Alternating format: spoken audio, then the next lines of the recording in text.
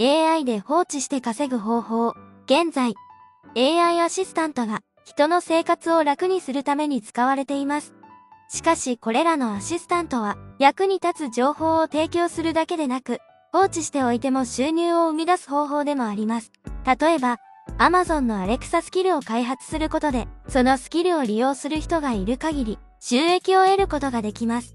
また、パスブブッセンガーのチャットボットを開発することも、同様に収益を得ることができます。これらのアシスタントを作るには AI に関する知識が必要ですが、オンラインコースやテキストチュートリアルなどがあり、それらを利用することで AI の知識を身につけることができます。一度作成したアシスタントは継続的なメンテナンスが必要ないため、放置しておいても収益を生み出すことができます。さらに、アシスタントの機能を追加することで新たな収益源を生み出すことも可能です。AI アシスタントを作成し、放置して稼ぐ方法は副業やオンラインビジネスの一つの選択肢となります。必要な知識を身につけて、新たな収益源を見つけることができるでしょう。副業やオンラインビジネスに適しています。